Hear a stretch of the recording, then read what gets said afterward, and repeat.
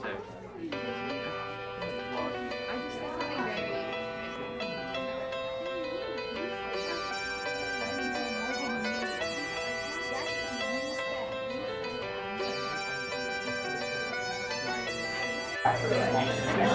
I'm Mrs. Cathcart, and I'm a journalism advisor, and it's my job in this classroom to crack the whip.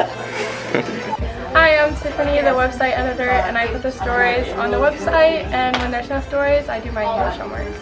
Hi, I'm Saquon Muller. I'm a copy editor.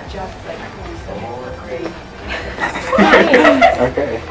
Yes, and then Um, what I usually do is that uh, I usually draw these political cartoons for the school newspaper. I mean, yeah, they don't accept them most of the time, but that's still good work. Hi, I'm Sarah Steichen and I'm the feature editor and basically I edit stories like um, about clubs, uh, restaurant reviews, book reviews, and fictional stories, so yeah.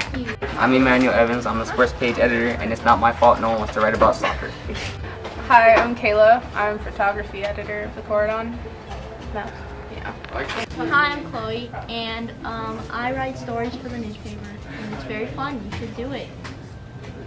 I'm Nick DeLuca. I'm editorial editor. I do this, and I'm not enthusiastic.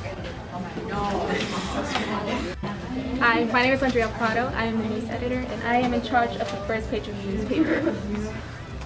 Hi, my name is Hannah. I'm the co-editor-in-chief, and Michael's the other co-editor-in-chief.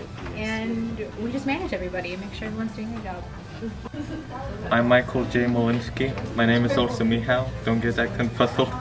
I'm the co-editor-in-chief and I basically um, I do stuff with computers and make sure everyone's on task. And when they're not on task, I try to them to do better.